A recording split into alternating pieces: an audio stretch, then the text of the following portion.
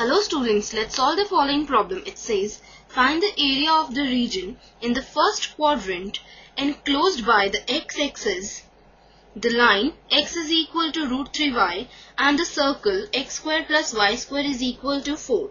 Let us now move on to the solution. Now here we have to find the area enclosed in the first quadrant the line x is equal to root 3y the x-axis and the circle x square plus y square is equal to 4 so we have to find the area of the region in the first quadrant enclosed by this line x-axis and the circle. So this is the area which we have to find so here we need to divide this area into two parts. Right, one is triangle, this and this area and this line is the point of intersection of the circle and the line. So the given circle is x square plus y square is equal to 4 and the line is x is equal to root 3y. Now to find the point of intersection, we'll put x is equal to root 3y in this. So we have 3y square plus y square is equal to 4 and this implies 4y square is equal to 4 and this implies y is equal to plus minus 1. But since we have to find the area in just the first quadrant, we'll ignore the negative sign and we have y is equal to 1. Now if y is equal to 1, then x is equal to root 3 into 1. That is x is equal to root 3. So the point of intersection is root 3 1. Now the area of this triangle is given by the integral x upon root 3 where the limit of the integral goes from 0 to root 3 since from here y is equal to x upon root 3 and here we are taking the limit of the integral as 0 to root 3 because here this line can take the maximum value up to root 3 and the area of this region will be given by integral root 3 to 2 under the root 4 minus y square. Because this is the area covered by the circle where x goes from root 3 to 2 and this point is 2 because the radius of the circle is 2 because the equation of the circle is x square plus y square is equal to 2 square. And here this 2 is the radius of the circle. So now the required area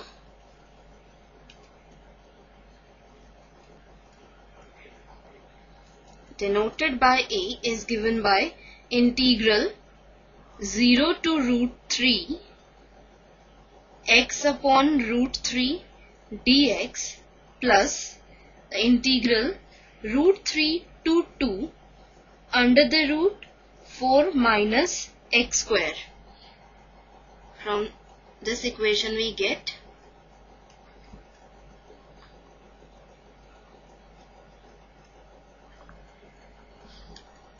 and this implies y is equal to under the root 4 minus x square and here we have taken the positive square root because we need to find the area in just the first quadrant.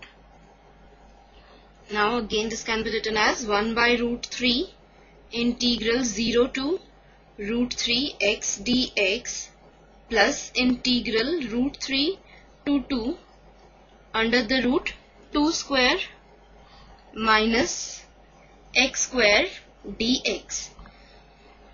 Now again integral of x dx is x square by 2 where the lower limit of the integral is 0 and the upper limit is 3 plus now here we'll apply the formula for the integral of under the root a square minus x square which is given by x by 2 into under the root a square minus x square plus a square by 2 sine inverse x upon a. Here a is 2. And the lower limit is root 3 and the upper limit is 2.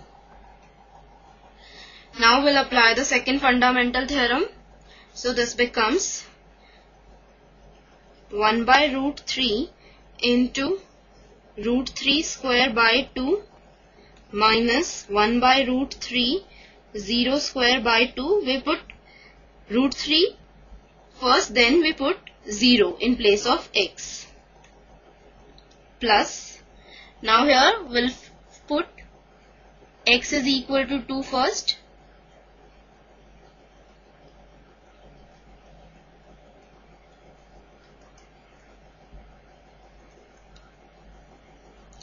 Minus. Now we put x is equal to root 3 so this becomes root 3 by 2 into under the root 2 square that is 4 minus root 3 square is 3 plus 2 sine inverse root 3 by 2. Now again this is equal to 1 by root 3 into 3 by 2. 0 square by 2 is 0 plus 2 by 2 is 1 2 square minus 2 square is 0 so it is 0 plus 2 into sine inverse 1 is pi by 2 minus root 3 by 2 4 minus 3 is 1 so it is under root 1 is 1 plus 2 into sine inverse root 3 by 2 is pi by 3. Now this is equal to root 3 by 2 plus pi minus root 3 by 2 minus 2 pi by 3 which is again equal to pi minus 2 pi by 3 which is equal to pi by 3. Hence the required area is pi by 3. So this completes the question and the session. Bye for now. Take care. Have a good day.